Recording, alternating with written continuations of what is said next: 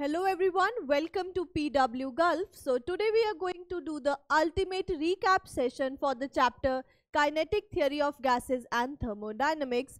In today's lecture, we will be covering what is internal energy, heat, work, zeroth law of thermodynamics, first law of thermodynamics. Then we will doing various thermodynamic processes, isobaric, isochoric, isothermal, adiabatic, all those processes then we'll be going on to heat engine, second law of thermodynamics, Carnot engine, their efficiency, refrigerator or heat pump, all those. And then we will go to kinetic theory of gases, ideal gases, what is the pressure exerted, what is the mean free path and all that stuff. Okay. So without wasting any time, let's start our first topic which says thermodynamic equilibrium. Now see, a system is said to be in thermodynamic equilibrium if the macroscopic variables which are describing the system do not change with the time. Okay. So, if we have a system, okay, if we have a system, thermodynamic equilibrium will be established when any variable, any macroscopic variable is not changing with time. So, if we have thermodynamic equilibrium, there should be first thermal equilibrium there should be thermal equilibrium and there should be second there should be mechanical equilibrium as well. Mechanical equilibrium and there should be chemical equilibrium. So if all three equilibria exist okay all three mechanical thermal and chemical equilibrium are existing then we will say the system is in thermal equilibrium so let us take if this is system A, this is B and this is C. Okay, they are separated by conducting walls. They are separated by conducting walls. Then after some time what will happen? After some time what will happen? The temperature of A, B and C will become equal hence they will be said to be in thermal equilibrium okay they will be said to be in thermal temperature only decides thermal. When we have thermodynamic there should be thermal mechanical as well as chemical equilibrium okay? The all the three temperatures will become equal. Ta will be equal to tb will be equal to tc so this is the condition for thermal equilibrium. There is a difference between thermal and thermodynamic equilibrium okay? So let us see further. Zeroth law of thermodynamics now, zeroth law of thermodynamics states that if two systems are in thermal equilibrium with the third system separately, okay. So, let us take this example that this is an insulated system which is insulated from surroundings. In this we have three systems. One is A,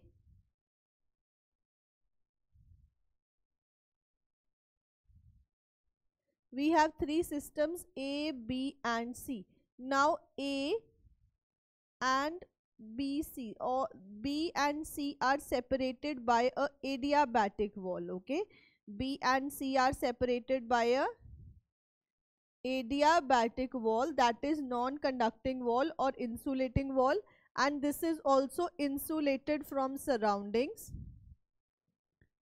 insulated from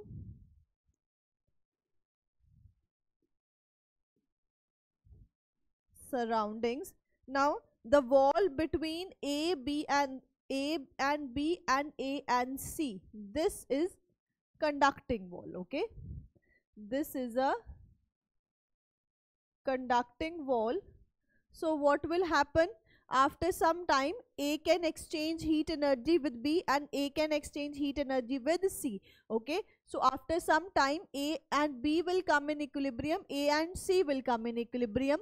So what will happen? B and C will also be in equilibrium. Okay. So if A and C are in thermal equilibrium and also A and B are in thermal equilibrium.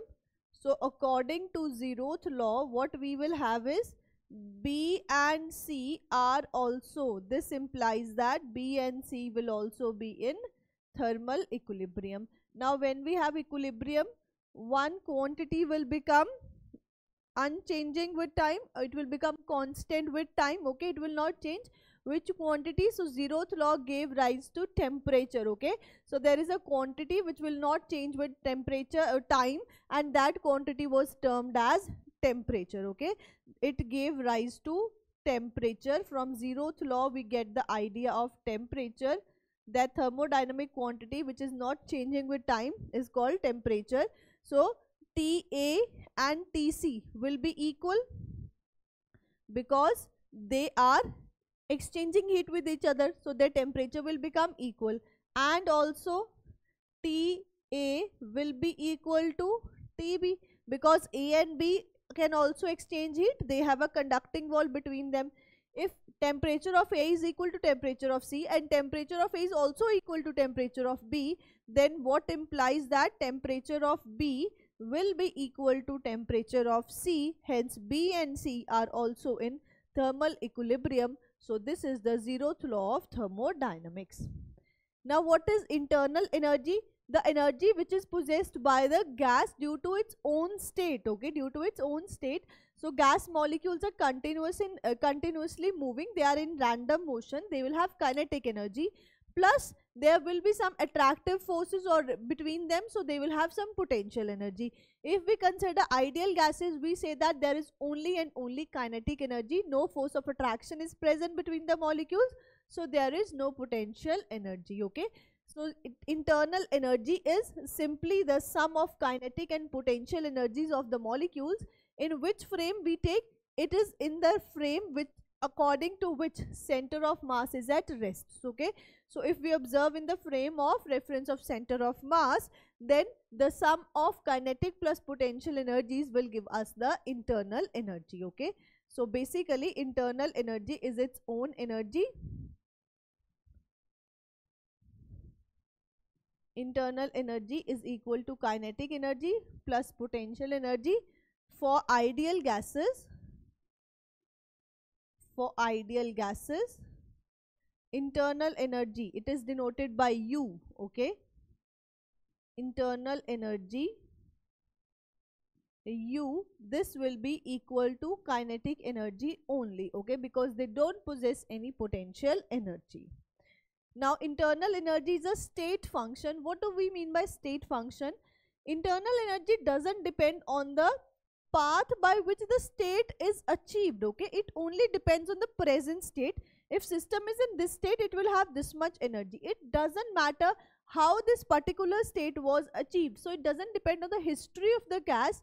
It only depends on the current state of the gas. If the gas is having this much pressure volume temperature then this much must be its internal energy okay so it it only depends on the state of the gas not how the state was achieved so internal energy is a state variable, okay.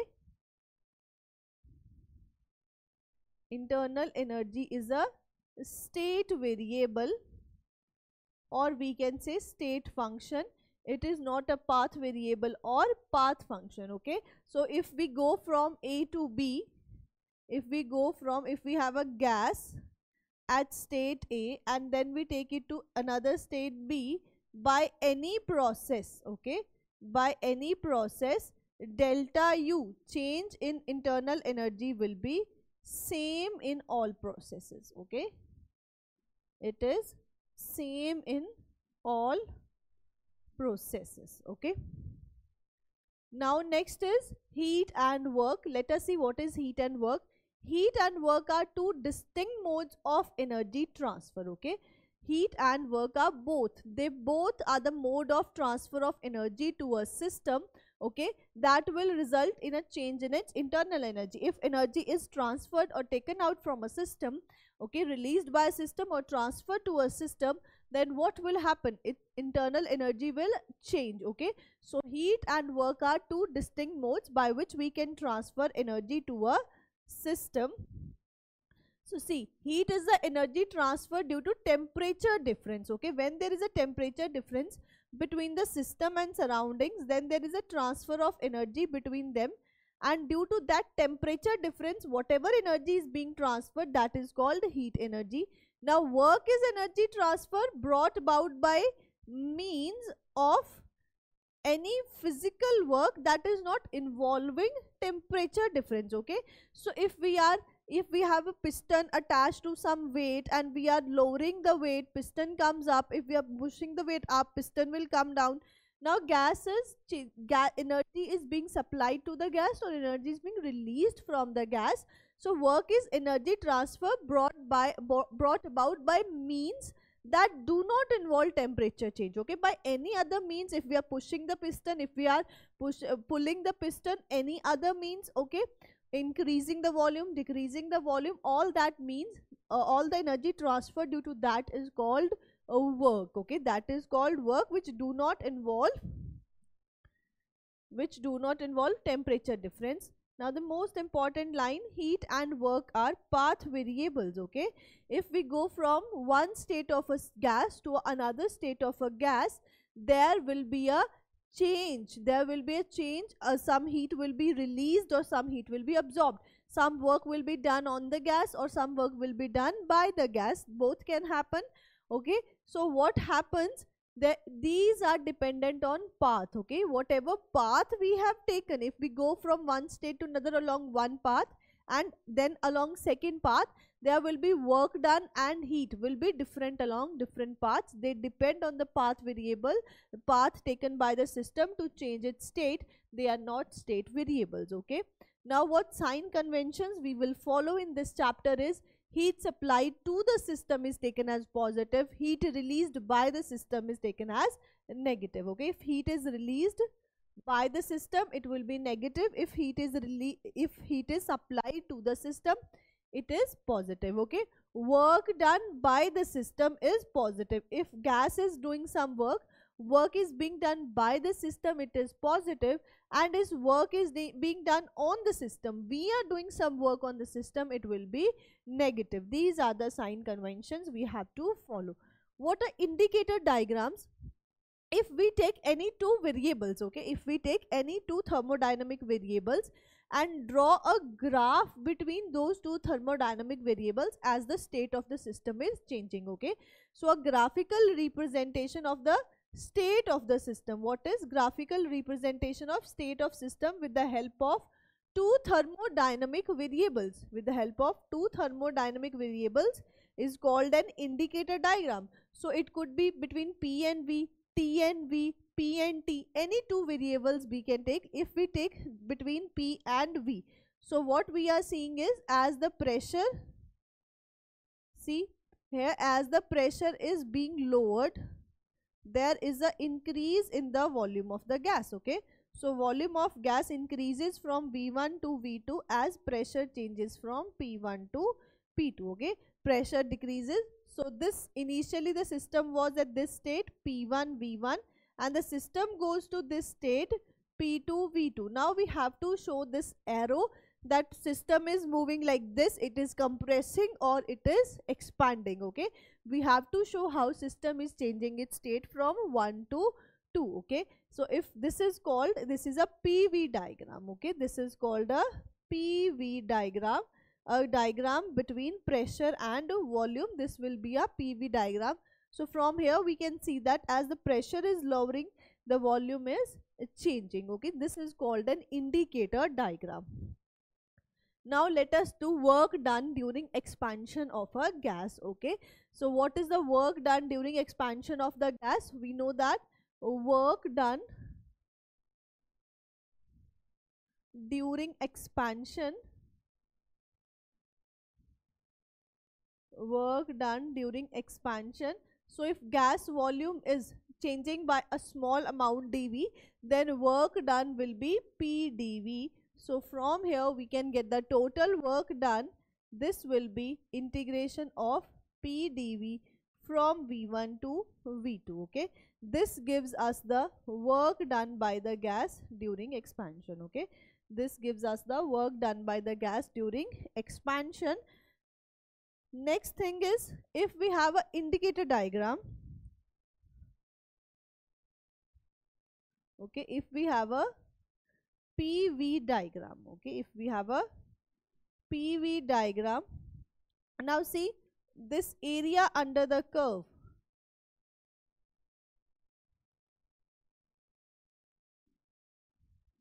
This area under the curve, if we see area under PV diagram, area under PV curve now what is the area under PV curve? Area we know that it will be integration of P dV from V1 to V2 isn't this the work done? Isn't this the work done? If we want to find this area under the curve so it will be integration of p dv from v1 to v2 so from here we get that area under pv curve area under pv diagram gives the uh, work done okay? This gives the uh, work done.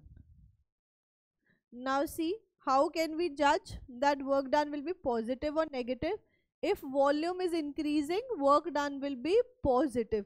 If volume is decreasing work done will be negative okay? So you have to see system. Area will give us only the magnitude okay? If we want to find area it will only give us the magnitude of work done. We have to judge that it is a positive work done or it is a negative work done.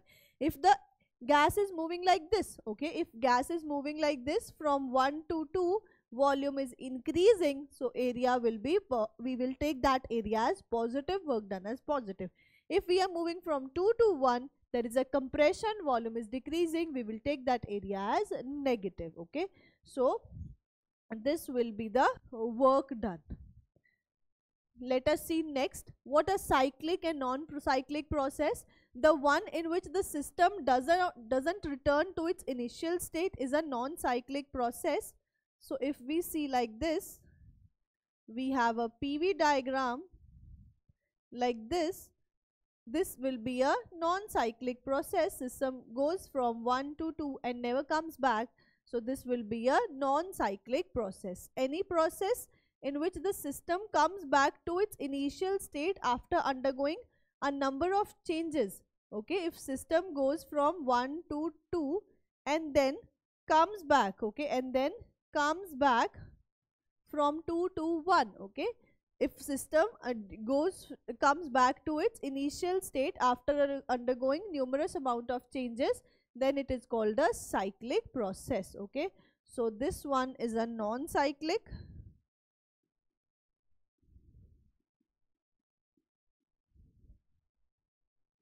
and this one will be a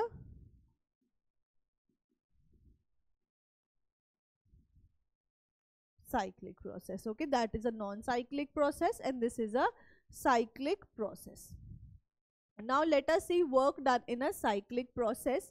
So total work done if we say in this process we did w1 work and this process we did w2 work okay? So from here work done total work done will be w1 plus w2 now w1 will be let us draw it downwards.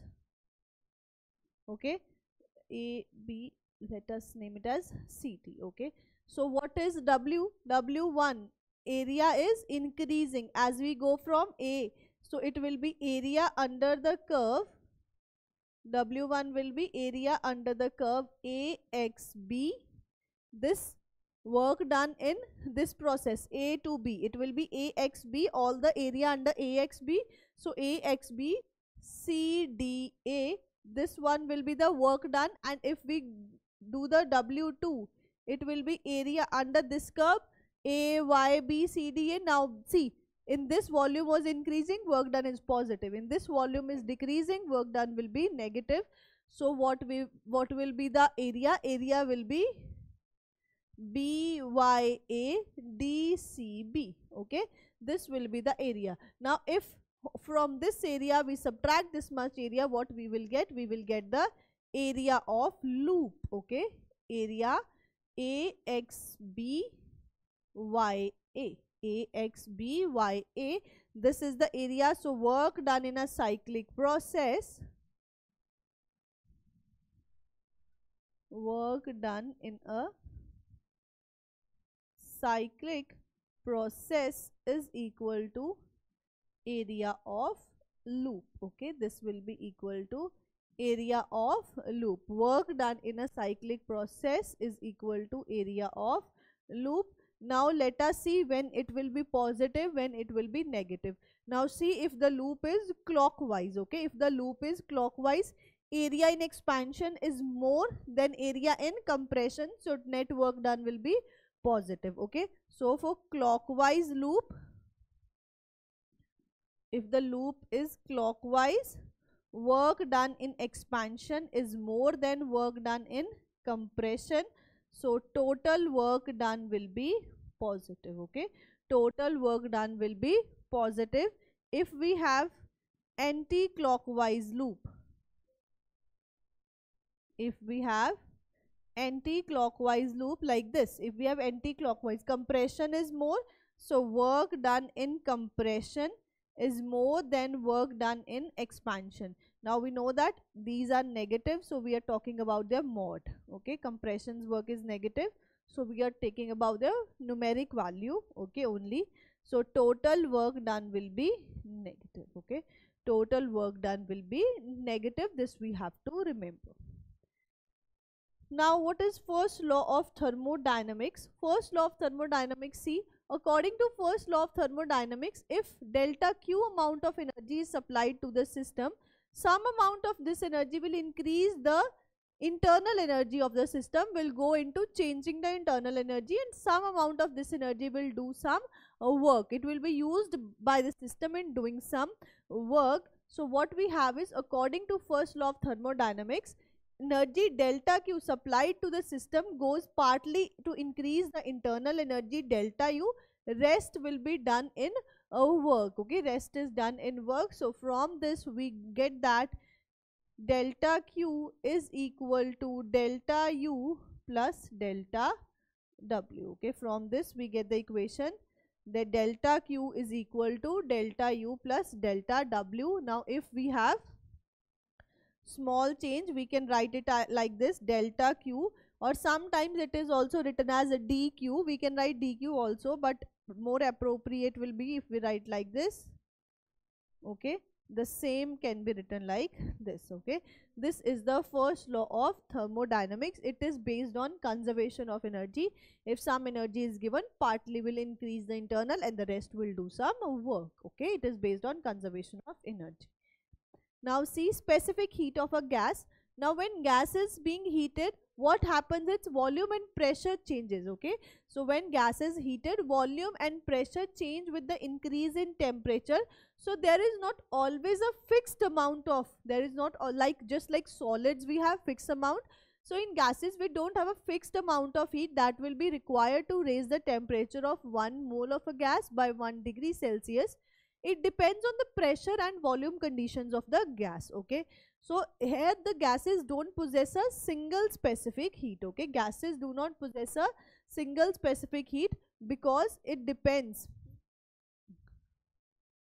specific heat of gases depends on the physical conditions on the state of gas. Better if we choose word like this. It depends on the state of gas that is its pressure and volume okay? Basically pressure and volume of the gas. So there is not always a, fixed energy. Sometimes volume might start increasing. So there will be increase in temperature due to the uh, heat absorbed plus due to expansion there will be a fall in temperature as well okay? So gases can possess a positive negative it can have a zero and it can have an infinite heat also specific heat capacity okay? So they don't have a fixed value. This is a range of values for gas but we study two principal specific heats okay? We study two principal specific heats let us study molar specific heat at constant volume okay? So it is defined as amount of heat required to raise the temperature of 1 mole of gas by 1 degree celsius at constant volume okay? So what amount of heat we will be requiring okay? So cv it is denoted by cv it will be amount of heat required to raise the temperature by 1 degree celsius of 1 mole of gas at constant volume okay at constant uh, volume. So this will be the specific heat at constant volume.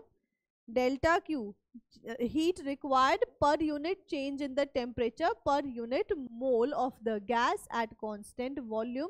So if we want to find delta q what heat must be supplied to the system at constant volume to change its temperature by delta t then it will be equal to ncv delta t okay? Heat supplied at constant volume will be equal to ncv delta t. Now uh, by first law of thermodynamics by first so first law of thermodynamics uh, what we will have? We have delta q is equal to delta u plus delta w now we know that delta w it is equal to pdv so we can write it as delta u plus or better if we write like this delta q is equal to du plus dw so from here we get delta q is equal to du plus work done small work done is pdv now volume is constant okay volume is constant so dv will be 0 dv is 0 so from here we will get delta w this will be 0 there will be no work done. So heat supplied at constant volume what it is? It is ncv dt or ncv delta t. If the change in temperature is very small we can write it as ncv dt and dq as ncv dt so this will be equal to du from this we get a very important relation that du is equal to ncv dt du is only temperature dependent okay? Internal energy is only a function of temperature. It is only temperature dependent. If temperature changes by du uh, dt amount then change in internal energy du will be ncv dt now because u is a state variable okay? Because u is a state variable so you go by any process this is valid okay? This is valid for all processes. This is valid for all processes. This is valid for all processes. You go by any of the process any of the process okay? Du will be ncv dt only u is a only a function of temperature. Now let us find molar specific heat at constant volume. So if we want to raise the temperature of 1 mole of gas by 1 degree celsius at constant pressure then it will be called as molar specific heat at constant pressure denoted by Cp it will be 1 by n delta Q by delta T at constant pressure. So this will be the value of Cp and if we want to find how much heat we should supply at constant pressure it will be equal to ncp delta t. Okay heat supplied at constant pressure will be ncp delta t. Now see if we apply first law of thermodynamics what will happen? Delta q is equal to delta u plus delta w now in this case delta w is not 0 so delta q at at constant pressure at constant pressure delta w is not equal to 0 so some heat will go into work done also and some heat will raise the temperature. So to raise the temperature by the same amount at constant pressure we have to supply some more heat because du will be always ncvdt okay? We have to supply some more amount of heat okay? du will be always ncv dt okay? Now see at constant pressure we will have some work done also. So we have to supply extra heat to do some work plus raise the temperature. So if we say delta q at constant pressure is greater than delta q at constant volume so from here we get that cp will be greater than cv okay so cp is greater than cv because at constant pressure some of the heat goes into work done also okay now there is a very important relation between the two okay and that relation is given as Cp minus Cv is equal to R. Okay, this is called Mayer's relation. Very, very, very important. You should remember this. This is called Mayer's relation. Cp minus Cv is equal to R. What is the relation between the two specific heats? Cp minus Cv is equal to R. This is the relation between the two specific heats. Okay. Now let us move to thermodynamic processes. Now there are various thermodynamic processes. We will be studying isothermal. Isothermal means constant temperature. Okay, isotherm. So any process which occurs at constant temperature is called a isothermal process. Isobaric. Iso means constant and bar for pressure. So with the process which will occur at constant pressure is called isobaric then isochoric, iso same constant, choric is for volume. So the process which occurs at constant volume is called isochoric. And adiabatic process, it is a thermodynamic process in which there is a no exchange of heat between the system and surroundings. Okay, there is no exchange of heat between the system and surroundings. That is called a adiabatic process okay? So if temperature is constant delta t will be 0 if pressure is constant delta p is 0 if volume is constant delta v will be 0 and if adiabatic process delta q will be 0 okay these are the various thermodynamic processes let us study them one by one what is an isothermal process in which the temperature remains constant and pressure and volume of the gas change now what is the equation of an isothermal process? Equation of an isothermal process is PV will be equal to constant. Okay. This is the equation for an isothermal process that PV will be a constant. Okay. PV will be a constant. This is the equation for an isothermal process. So from here we can say that if temperature is constant, okay, PV will be remaining a constant. Draw the graph between P and V. If we draw the indicator diagram between P and V. How it will look like? It will be a hyperbolic curve like this. Okay. It will be a hyperbolic curve. Now here system will remain in thermal equilibrium because temperature is constant. So heat will be exchanged. We need perfectly conducting wall and we should give enough time to exchange the heat so isothermal processes are slow processes okay slow processes so the system should get time to exchange heat with the surroundings okay process should be a slow process. Now apply first law of thermodynamics. We have dq is equal to du plus dw. If i write perfect differentials although we cannot write so because these are path variables okay we cannot write them like this. Now see du is dt. Temperature is a constant so dt will be 0 okay? Dt will be uh, 0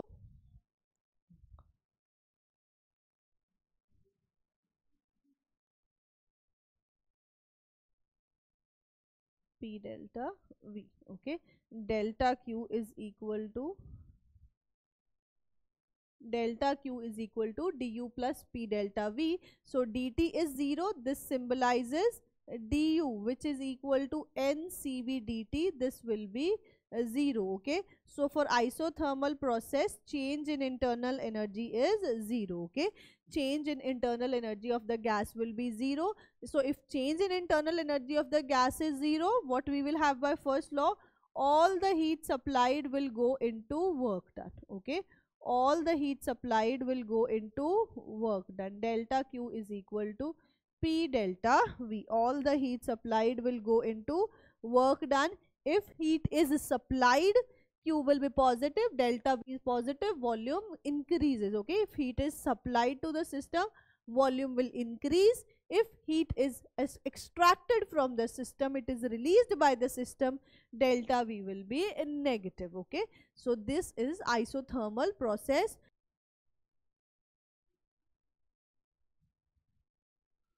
work done in an isothermal process. So what is work done in an isothermal process? Work done in isothermal process is equal to we have 2.303 nRT log to the base 10 V2 by V1 okay or we can write it like this. nRT ln of V2 by V1 okay? This is the work done by an isothermal process. If we want to write in form of pressure it will be nRT ln of P1 by P2 okay? This is the work done in an isothermal process now let us move forward to adiabatic process in which there is no exchange of heat. So delta q is 0 now by first law of thermodynamics what we have? Delta q is equal to delta u plus delta w or delta q is equal to delta u plus p delta v. So from here delta q is 0 we get that delta u plus p delta v will be 0 for an adiabatic process. That is delta u is equal to minus of p delta uh, v okay? So whatever work is being done that is being done at the expense of internal energy okay? Whatever work is being done if delta v is positive gas is expanding work is done by the system. So delta u will be a negative. Delta u is negative internal energy is decreasing okay? Gas expands. Gas if gas expands P delta V work done will be delta W is equal to P delta V this will be positive.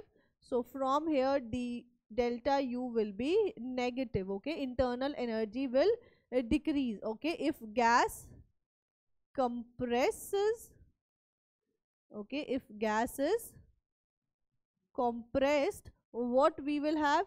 Delta W P delta V. This will be negative. So delta U is positive okay? So if work is done by the system that is being done at the expense of internal energy.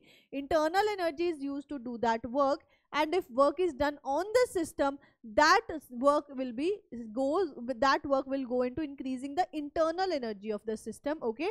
Its temperature will increase. If delta u decreases temperature decreases okay? This will happen. So from here delta u decreases that is temperature decreases and delta u increases that is temperature increases okay? So this is adiabatic process. Now what is the work done in an adiabatic process? Let us write equation of an adiabatic process. So equation of an adiabatic process is pv gamma is equal to constant okay? P into v raised to the power gamma is constant. Gamma is called adiabatic constant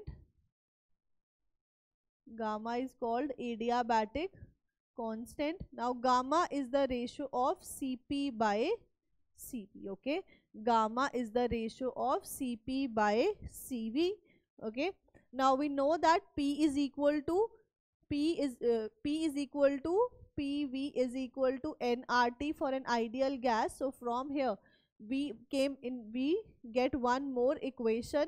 If we substitute P as nRT by V, so we will get T into V raised to the power gamma minus 1 is a constant. This is the another equation. Also, if we substitute if we want to find the equation between P and T, so we substitute it as C. P and T. So keep P volume can be written as nRT by uh, V, sorry, nRT by P raised to the power gamma. So we will get P as P into 1 raised to the power min, uh, P raised to the power 1 minus gamma into T raised to the power gamma. This will be a constant okay so these are the equation of an adiabatic process these are the equations of an adiabatic process now let us find work done in an adiabatic process.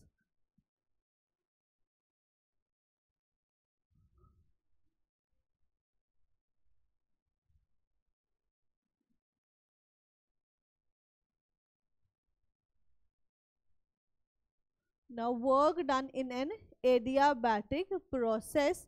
So for work done adiabatic process w is equal to nr divided by 1 minus gamma into T2 minus T1 if temperature goes from T1 to T2 and also we can write it as 1 by 1 minus gamma P2 V2 minus P1 V1 okay? This is the work done in an adiabatic process okay? This is the work done in an adiabatic process nr divided by 1 minus gamma into T2 minus T1 because in an adiabatic process pressure volume temperature all the three thermodynamic variables will change okay? This is the work done in an adiabatic process. What is an isochoric process? In an isochoric process volume is a constant okay? So if volume is constant delta v is 0 which implies work done. What is work done so work done is P delta V. This will be a 0. Okay. So work done in an isochoric process will be 0. Work done in an isochoric process will be 0. Okay. So from here by first law of thermodynamics we get delta Q is equal to delta U. Okay. So whatever heat is supplied to the system it will increase in internal energy. If heat is released by the system or extracted from the system it will decrease its internal energy okay? So this is isochoric process. Let us go to isobaric process. In an isobaric process what remains constant? Uh, pressure remains constant okay? Pressure remains constant. So what we have here we have delta q is equal to delta u plus p delta v okay? So there is nothing. Not delta u is 0 not p work done is not 0 okay? So pressure is constant. If we want to find work done in an isobaric process work done in an isobaric process so this will be W integration of P dV from V1 to V2. So P is a constant, it will come out. So work done is simply P into V2 minus V1. Okay, work done is simply P into V2 minus V1. Okay, this is the work done in an isobaric process. Now let us go to heat engine. What is a heat engine? It is a device, okay, which absorbs some amount of heat. So let us draw a heat engine.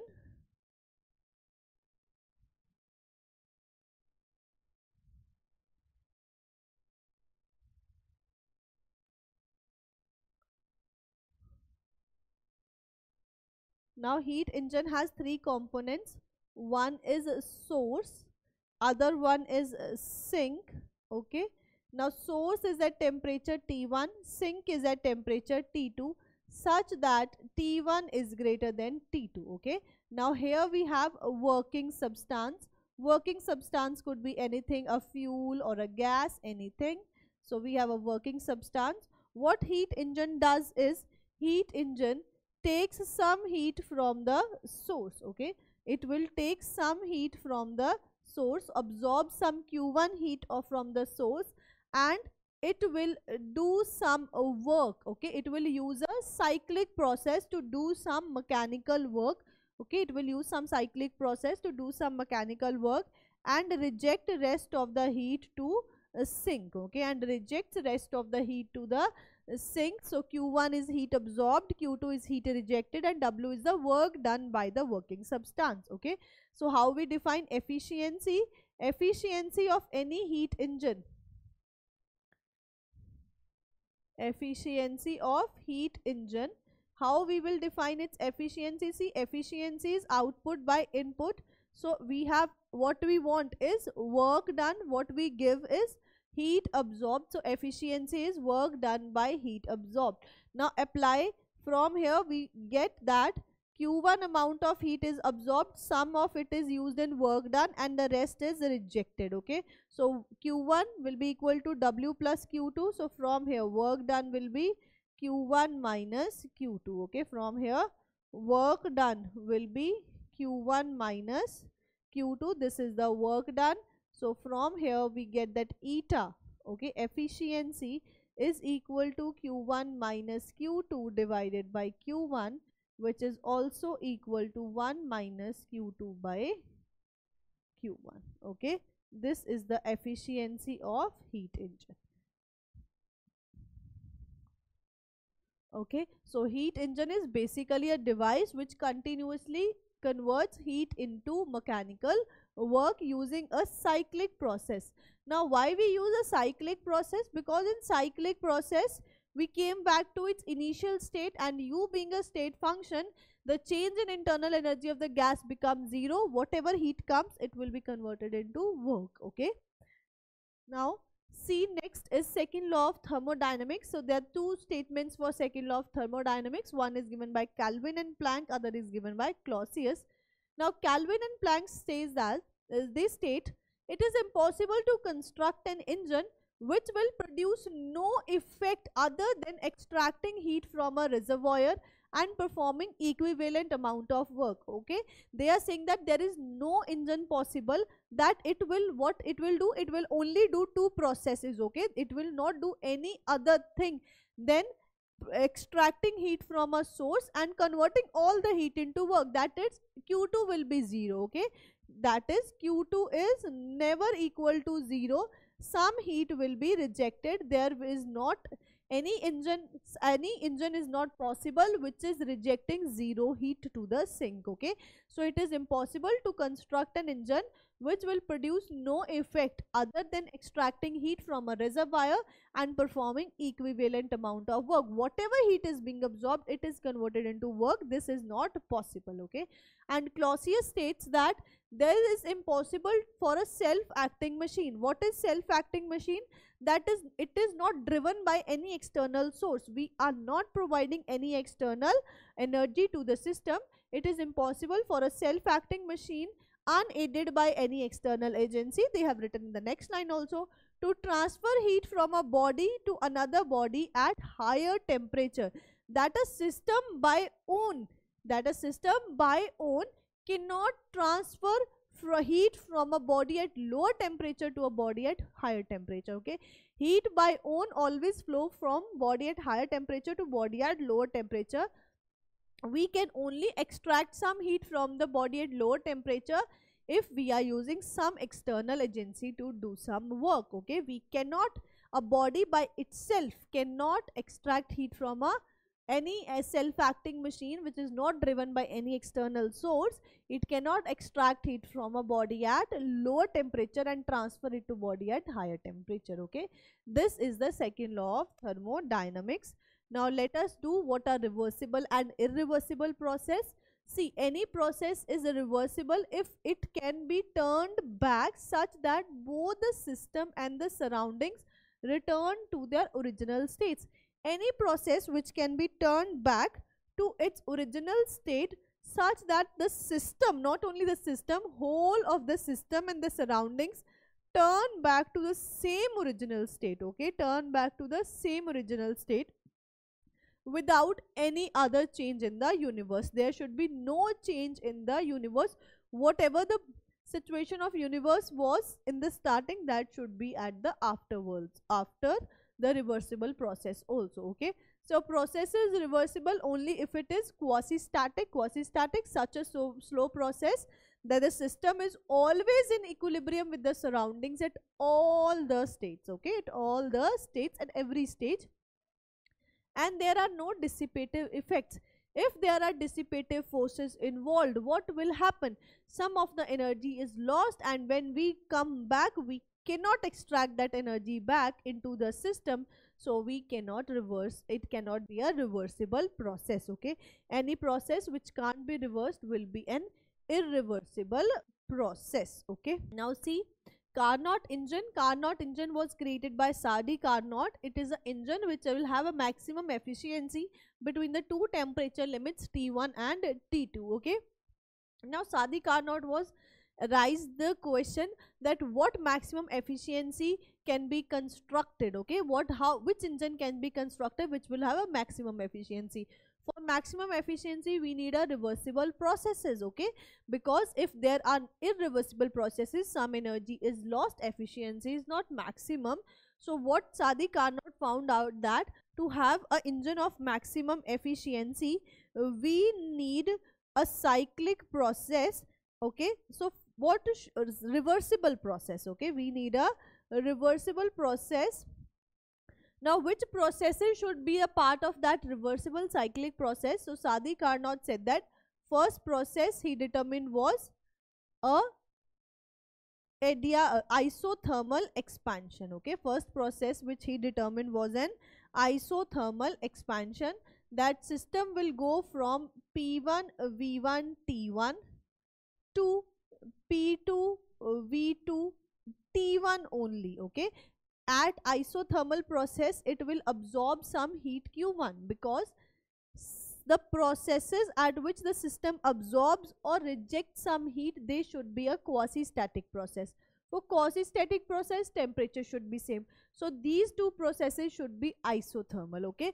To change the temperature of the system from t1 to t2 see while accepting heat from the source source and system should be in thermal equilibrium it should be a quasi static process that is a reversible process okay for system should always remain at temperature T1 that is of the surroundings while absorbing heat.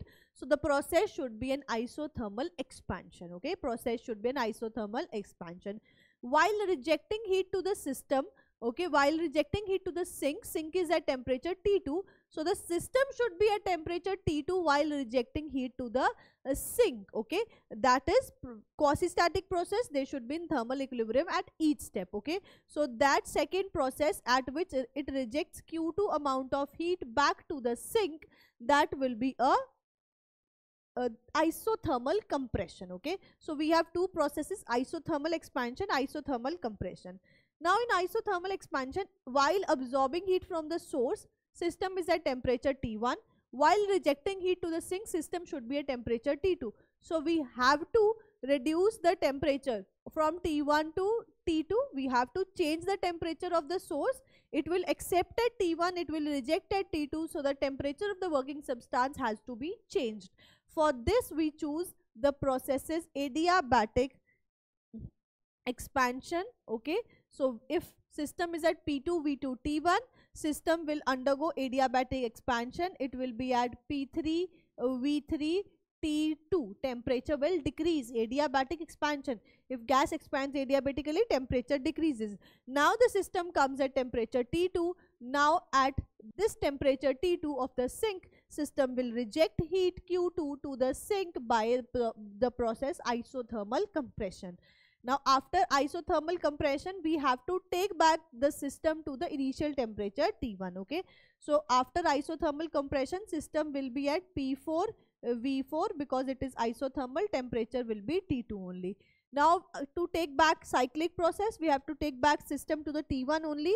So we use the next process as adiabatic compression okay. So the four thermodynamic processes will be isothermal expansion. So first process will be isothermal expansion. Second one is adiabatic expansion.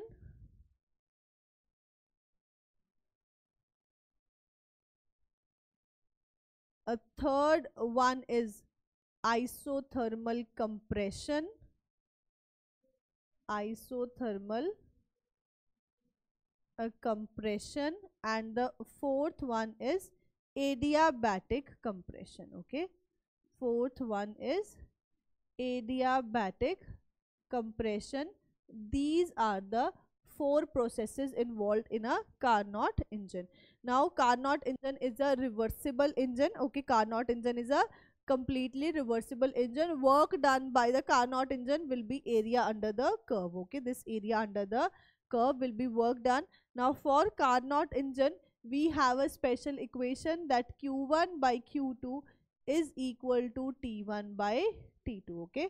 For Carnot engine, we have this special equation that q1 by q2 is equal to t1 by t2 so efficiency of carnot engine will be 1 minus q2 by q1 it will be equal to 1 minus t2 by t1 this is valid only for carnot engine this is valid only and only for carnot engine.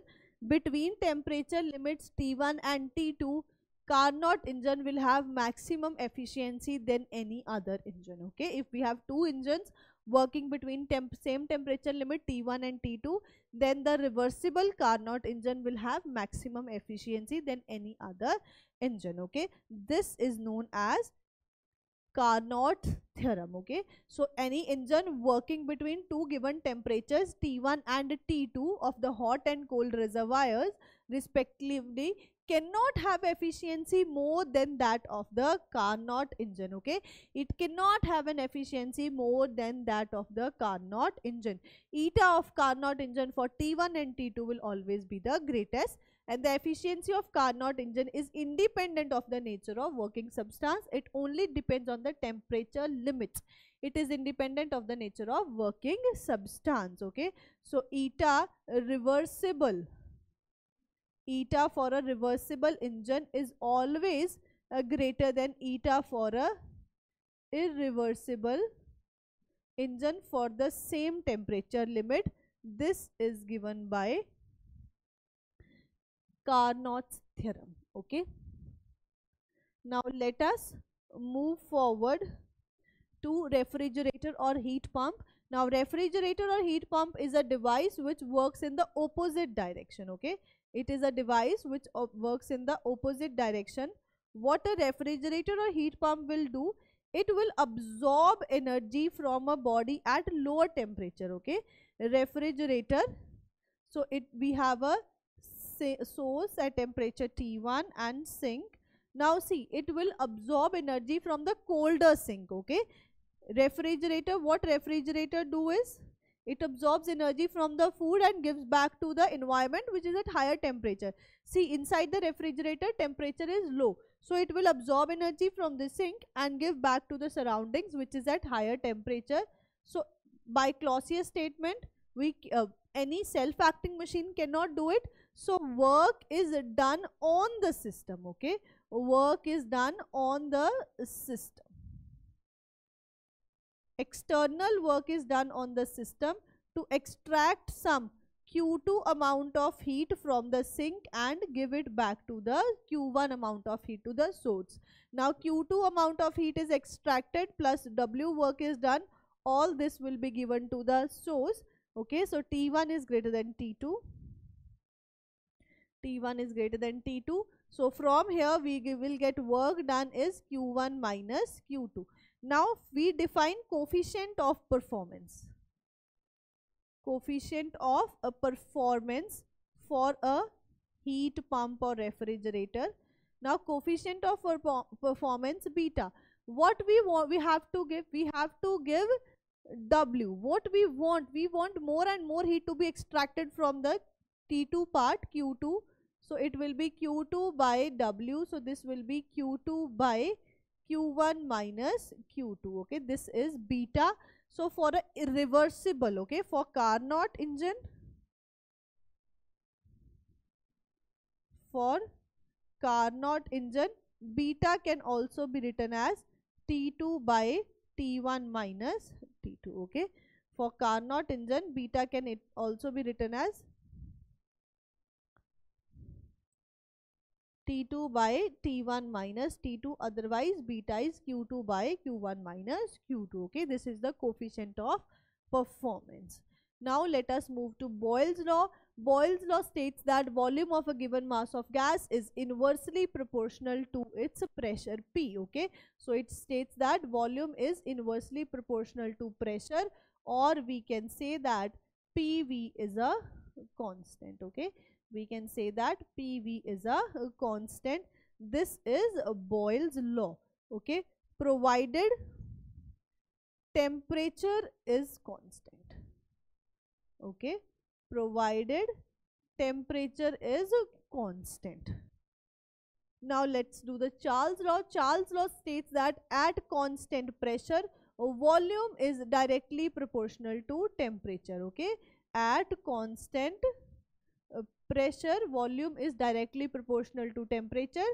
So we will say that V by T will be a constant. Okay, uh, V by T will be a constant, which implies V1 by T1 is equal to V2 by T2 okay V1 by T1 is equal to V2 by T2 now here T is the temperature in absolute units okay that is Kelvin here we will have the equation P1 V1 is equal to P2 V2 here we will have V1 by T1 is equal to V2 by uh, T2 next is at constant volume pressure is directly proportional to the absolute temperature.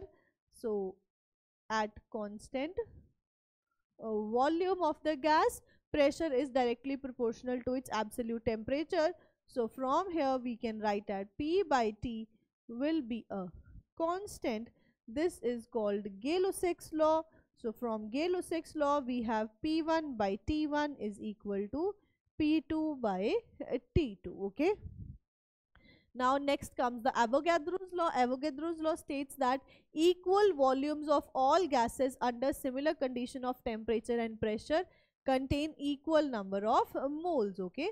If we have, if temperature and pressure are same, if temperature and pressure are same for two gases, for two gases, okay, we have two gases whose temperature and pressure are uh, same such that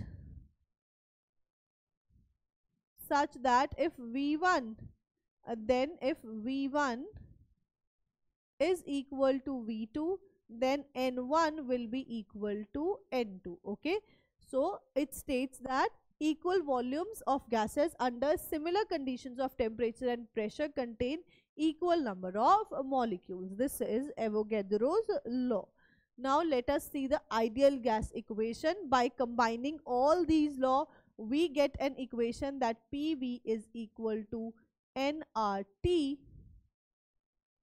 PV is equal to nRT. This is called an ideal gas equation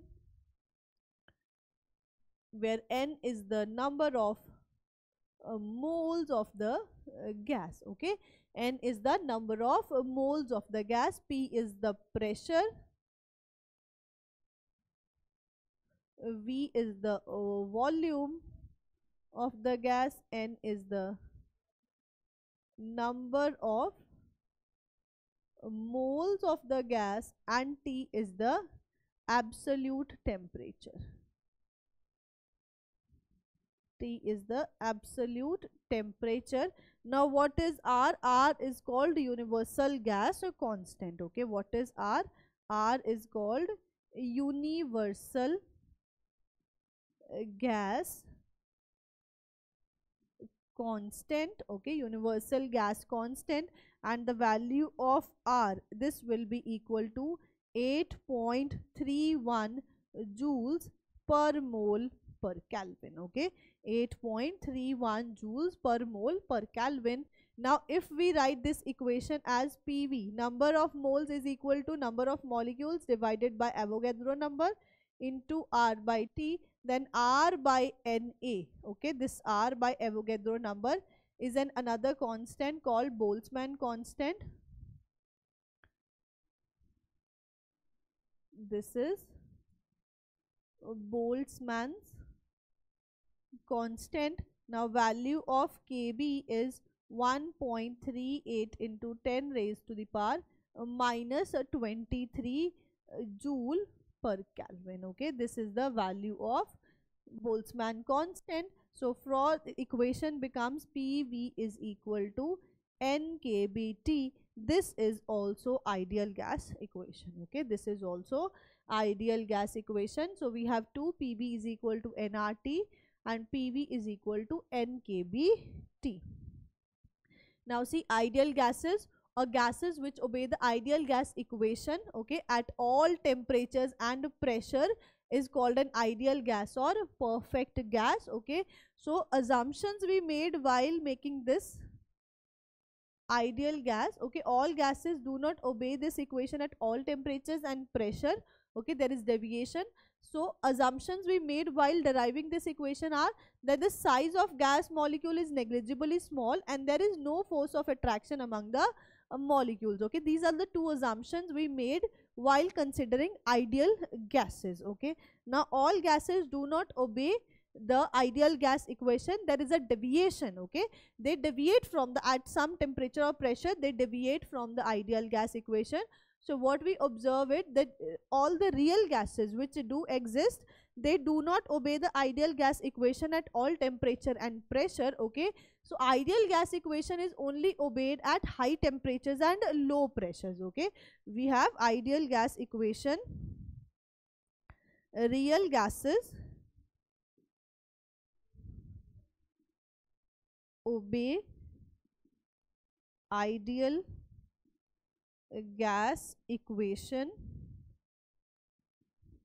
at low pressures at low pressures and high temperature okay? At high temperatures and low pressures only. So see for value of PV by T, if we draw it, this should be a straight line for ideal gas, but for real gases at different temperature, this has a dip, okay. Similarly, these dotted lines are the ideal P, TV curve at different pressures, but the real ones are deviating from it, okay.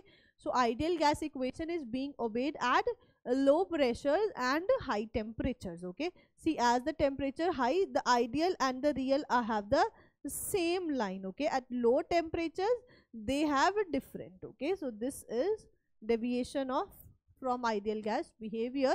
Now kinetic theory of gases. So the molecular when we observe the gas at molecular aspect that is called the kinetic theory of gases. Now in giving kinetic theory of gases we made the following assumptions. We assumed or what considerations were taken into place that all gases consist of molecules and molecules are hard rigid spheres elastic spheres which are identical in all aspects for one gas and they are different for different gases okay? Size of a molecule is negligible as compared to the average distance between the molecules okay? The molecules are very very very far apart. Size of molecule is negligible as compared to the distance between them. And the next part is the molecules are always in a state of continuous random motion okay? They are always continuous random motion. They are moving here and there with any velocity any possible velocity they can have okay?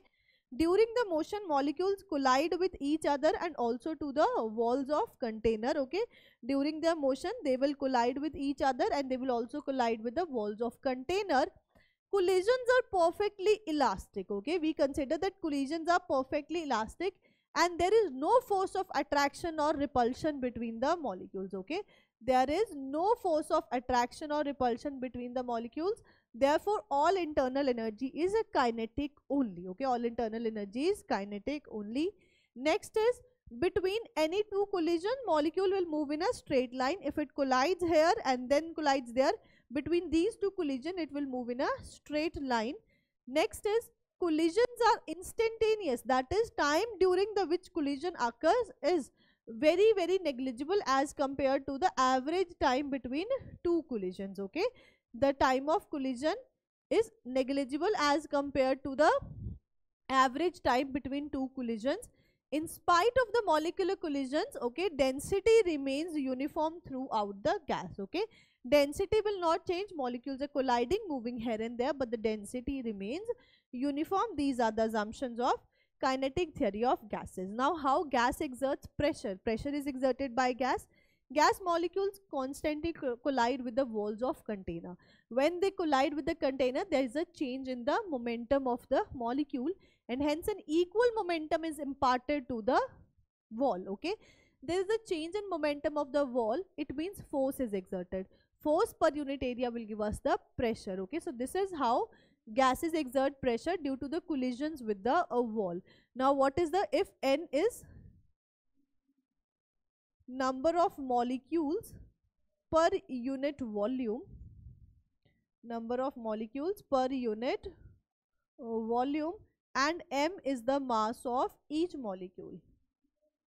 m is the mass of each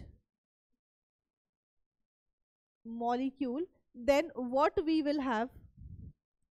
What we will have? Pressure exerted by the gas.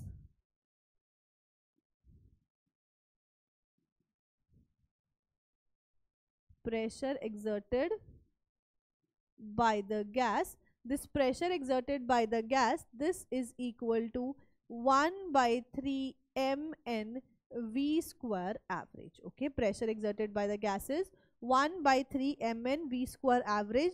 Now rho is equal to mass per unit volume. So rho will be mass into number of molecule mass of each molecule into number of molecules divided volume. Now number of molecules per unit volume. This will give us mn so from here we can write pressure is 1 by 3 uh, rho v square average. Okay 1 by 3 uh, rho v square average. This is the pressure exerted by the gas okay? This is the pressure exerted by the gas. Now let us see kinetic interpretation of this pressure. Now see pressure is equal to 1 by 3 if we write mn by v into v square average small n, be, n can be written as n by v. So from here we get pv is equal to 1 by 3 m v square average multiply and divided by 2 so from we get pv is equal to 2 by 3 into half m v square average. Okay? N is also there.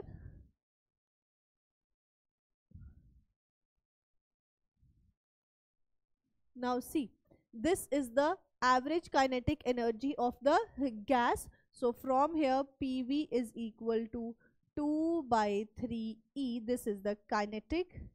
Pv is equal to 2 by 3e where e is equal to half m okay where e is equal to n into half m v square average. This is average kinetic energy of gas okay. This is average kinetic energy of gas. And also if we write e prime okay if we write E prime as half m v square average. This is average kinetic energy of each molecule okay? This is average kinetic energy of each molecule each molecule.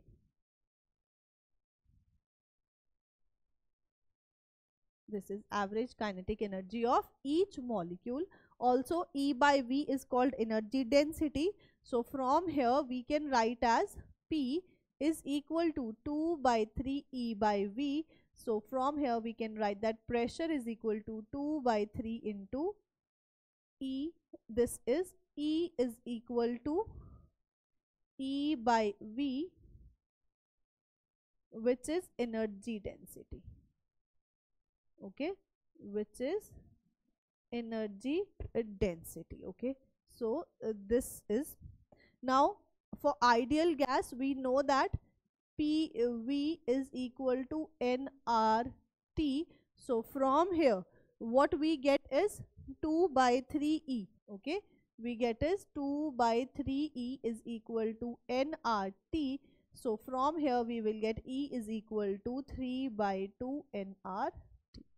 Okay.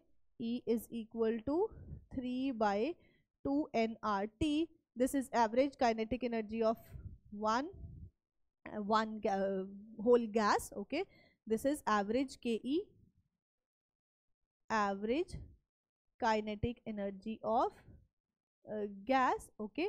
Also if we want to find e prime average kinetic energy of one molecule it will be 3 by 2 or we can write it e only we can write it as 3 by 2 n kbt okay? 3 by 2 n kbt because if we write r as n by na okay? Oh sorry. We if we write r as uh, divide n as n by na if we write small n as n by na then r by na will become kb so it will be 3 by 2 n kbt this is the average kinetic energy of the gas. So average kinetic energy per molecule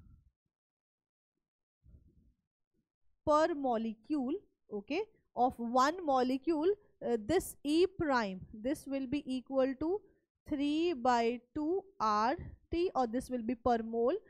So this will be 3 by 2 kbt okay. This is the average kinetic energy of each molecule. Each molecule is having this much kinetic energy okay.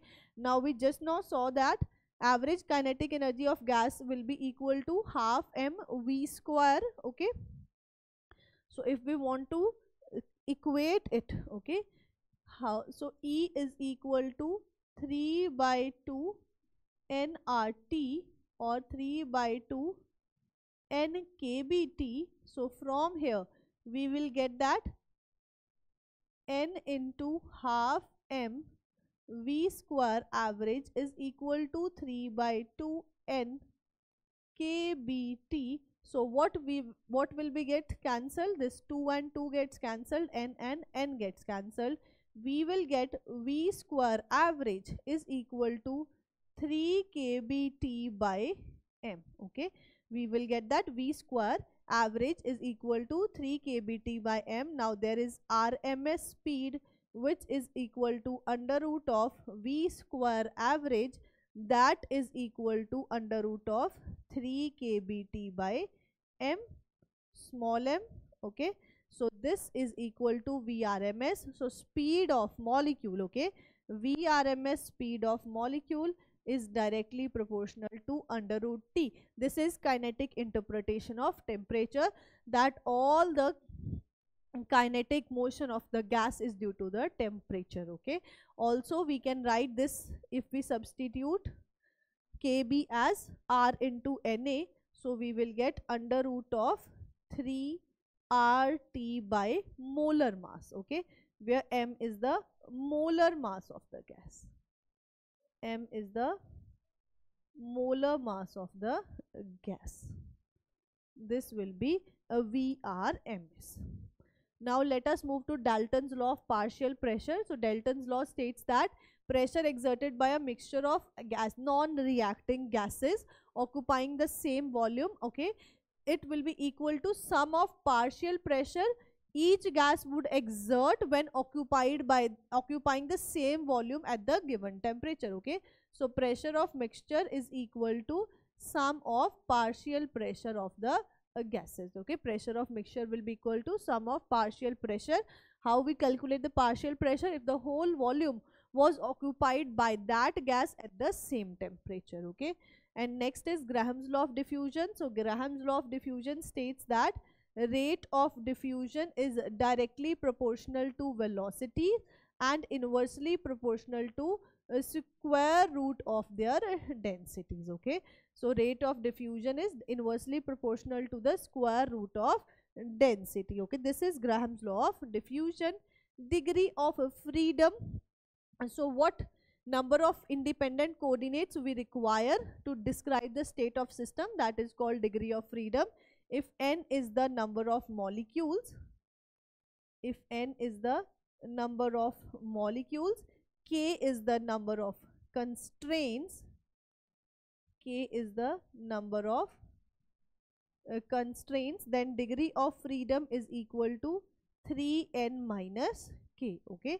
So if a body is moving in three dimensions okay? If we have a single atom moving in three dimensions we need x y z three independent coordinates to describe its state and motion so degree of freedom will be 3 if we have two atoms connected by a rod then there is a constraint okay? There is a constraint that they are joined by a rod okay? We need three coordinates for this three coordinates for this. Plus one coordinate can be known by this constraint. So we need total five coordinates. That is 5 degree of freedom okay? So for a monoatomic gas for a monoatomic gas and for a, a diatomic gas. For a monoatomic gas degree of freedom is 3 and for a diatomic gas degree of freedom is 5 okay? For a monatomic gas degree of freedom is 3 and for diatomic it is uh, 5 now a law of equipartition of energy. Now law of equipartition of energy states that if a system dynamical system is in thermal equilibrium then energy is equally distributed among all the degrees of freedom okay? That energy associated with each degree of freedom will be half kbt okay? So total energy will be equal to f into half kbt this is for one molecule okay? This is for one molecule. If we have n molecules then total energy or n moles we have. So this is energy of one molecule. If one molecule have f degrees of freedom f is the degree of freedom. Each degree of freedom has half kbt okay per molecule. See they have written degree of freedom per molecule is half kbt. So this is the energy associated. So total energy energy of the gas. Energy of the uh, gas this will be equal to f by 2 into n kb t. Okay this will be equal to f by 2 into n kbt now if we write kb as r by na we get e is equal to f by 2 nrt okay we get f by 2 nrt now we know that there is no potential so this will be the internal energy of the gas okay this is the internal energy of the gas now let us calculate specific heat capacity. Now we know that what is specific heat capacity? du is equal to n cv dt. So from here we get cv is equal to 1 by n into du by dt. Okay, 1 by n into du by dt. So let us see for a monoatomic gas.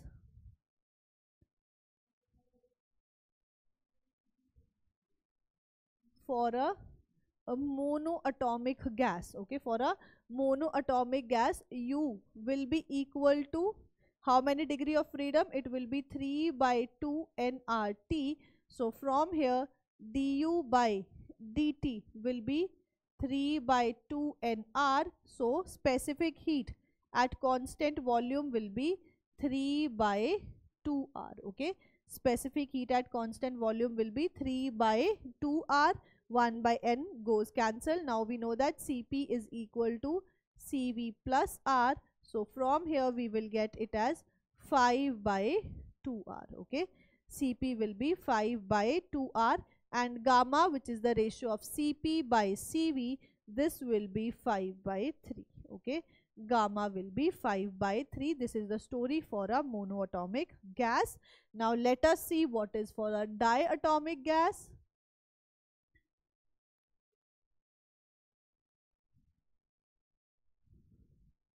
for a diatomic gas we know that degree of freedom F is uh, 5 so from here U will be 5 by 2 nRT and CV will be du by 1 by n into du by dt this will be 5 by 2r Cp will be 7 by 2r and Cp by Cv gamma will be 7 by 5 okay. So this is the degree of freedom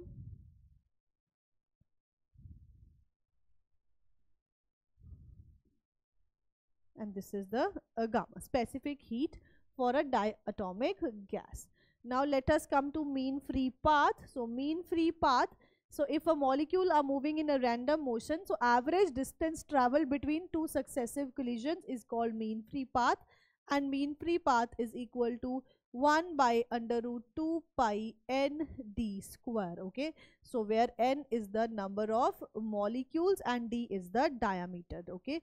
D is the diameter of each molecule and n is the number of molecules per unit volume okay? n is the number of molecules per unit volume.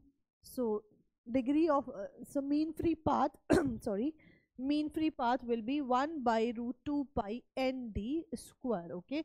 So this is all about the chapter kinetic theory of gases and thermodynamics. I hope you have revised it all and this session was helpful to you. So keep studying keep rocking. Thank you. Take care. Bye bye